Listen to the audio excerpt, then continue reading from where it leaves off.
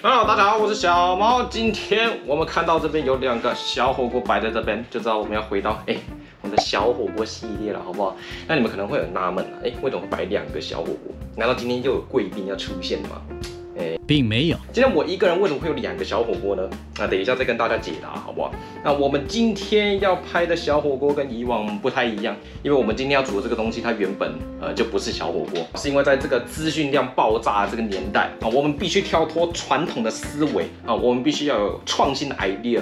对，我们不能就是让传统的想法把我们局限住。对，所以，我们今天要煮的这个东西，它也是火锅类的，只是它本来并不是小火锅。那我就来跟大家揭晓今天的主角，就是我们的竹间外带。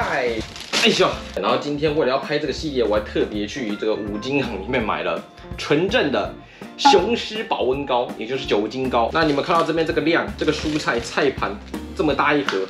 啊，这个小火锅是绝对装不下了。那既然一个装不下，我就用两个嘛，对不对？OK，然后这一袋就是我们刚刚装的酱料啊，这个他们那边的这个麻辣牛逼酱啊，还有那些有的没有的啊，一定是要给它装一下的。好，那这边菜都拿出来之后，我就跟大家稍微介绍一下，今天我们点的品相呢是这个，我点什么？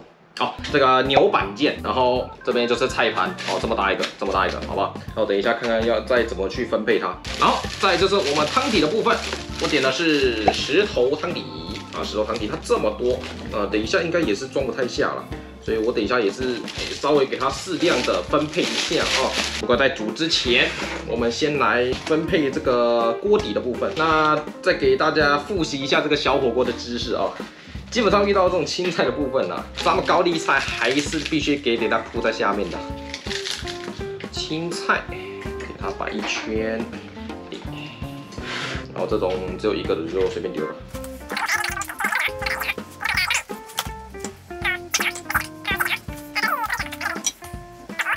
芋头这个有点难煮啊，这感觉特别难煮啊，这等一下应该煮完之后还要再放在锅子里面稍微让它加热一下。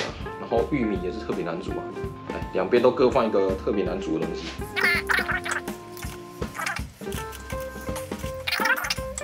哎呦，哎，刚刚好哎，这样分配起来刚刚好是两锅哎。OK，然后虾子的部分我们等一下就是快起锅的时候再加下去。肉品它比较高级一点，就是它并不是小火锅等级的。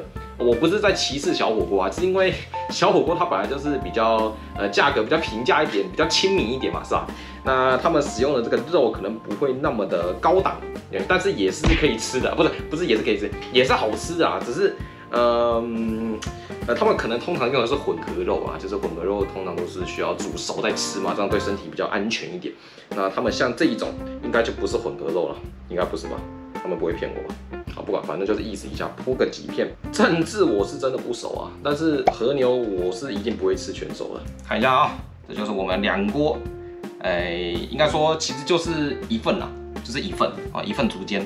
然后他用小火锅装是两锅。OK，那我们接下来就是进厨房，然后直接来料理一下我们这两锅。OK，现在来到我们的厨房啦，这边是我的汤底，我刚已经把它倒出来了，超级大一碗。那个大汤勺，准备把这个汤给淋下去。大概差不多。哇，这石头汤底是真的香，难怪我这么喜欢吃福建。汤头好的火锅店是无敌的，基本上是无敌的。然后我们准备一下我们的厨具，就是两根夹子，没有别的了，好不好？这个火有点太大，不要这太火爆了，不要这么火爆。把这些比较难熟的东西都搓下去了，都给它搓下去。嗯，我发现一个问题啊，竹间它这个锅物好像有一些比较不像小火锅里面的料那么容易煮熟啊。比如说，你看这个鱼包蛋，这应该就是比较难熟的东西啊。然后芋头就不用讲了，但是它这个豆皮，它的豆皮跟我们一般小火锅吃到的豆皮不一样，它是一圈的那一种。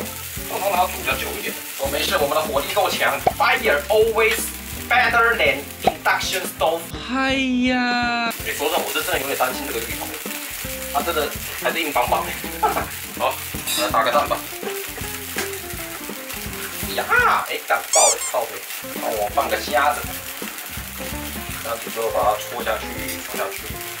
我觉得差不多可以关火了。好，那我夹子拿在手。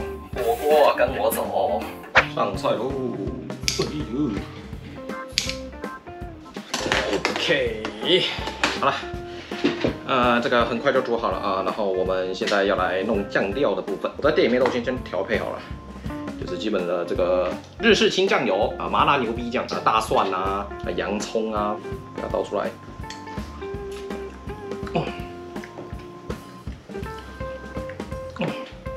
啊，但是想了一下，好像还少了一个味道。没错，就是我们的呼麻胡辣。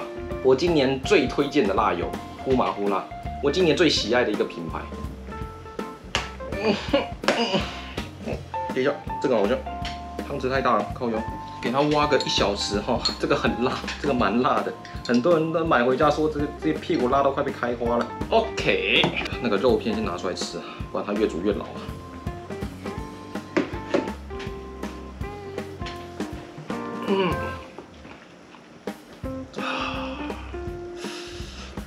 各位，小火锅有救了！继三妈以后，吃到第二好吃的小火锅，就是用竹煎煮的。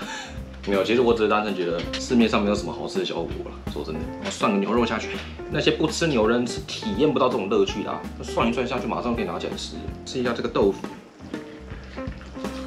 嗯，我仿佛经历这个黄豆的一生。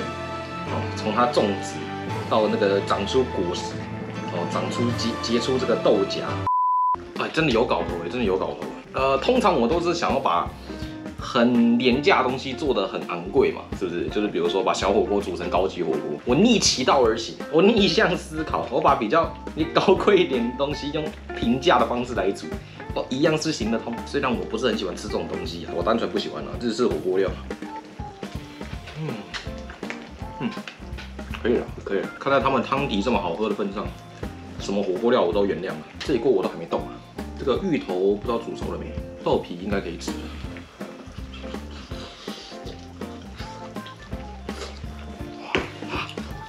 嗯，赞。哦，好香，口感上面还是硬了一点。我通常在店里面用那个 induction stove 电磁炉煮，通常会煮久一点才会把它拿起来吃。那我就用大火快煮，它这个豆皮还是很难煮得透。所以我才说，我比较喜欢吃另外那种豆皮，它比较好煮得透，而且它味道我觉得也比较香一点。那这种它就是嗯嗯比较吃口感的。你们真的不想在店里面吃啊？可以叫个外送也好，也不一定要吃竹煎，就是任何那种呃涮涮锅有没有？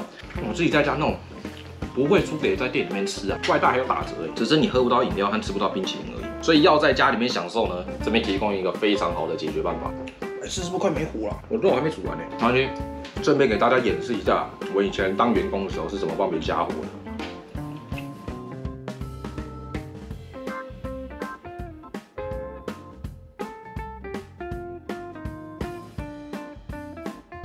好了，那我现在这个料也吃的差不多了，呃，现在准备来加个火哈。那我们以前加火呢，就是一个人要拿着酒精膏走过来，然后把这个锅子夹起来，然后另外一个人可能就是倒酒精膏下去。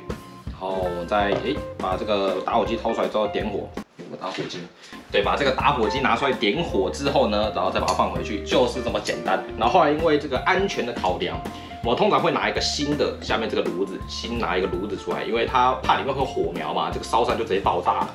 呃，但是我现在好像没有新的炉子，对，所以我必须要涉险啊，其实也没有了，就是稍微检查一下，拿起来的时候我们检查一下，看一下里面有没有小火苗。好，给它吹一下，夹起来，好，把我们酒精膏打开，稍微加一些进去，盖起来，放得远远的，然后点个火一口，然后点个火，就是这么简单，啊，一点都不可怕。好啦，那也到了这个影片的尾声了，我们等一下就是把这个肉煮下去，啊，把这个肉都给它丢下去。吃一吃，那现在唯有遇到的一个问题啊，就是这个芋头的另外一面没有煮熟啊，它上面这一块已经软烂了，有没有？可是下面那边是硬的。那其他的部分我觉得都是 OK 的，哦，就只有芋头。好，芋头你可能就是拿回家，你要用小火锅的方式煮的话，你要稍微把它切一半啊，切退半，然后拿出来煮，这样可能会比较有效率一点啊。那与此同时，我发布影片的时候，我应该在小琉球了。那小琉球我们上面应该会拍非常多的影片。我们现在已经想好非常多的点子，而且我们去完小琉球之后，还会再去垦丁，对，马上插去垦丁。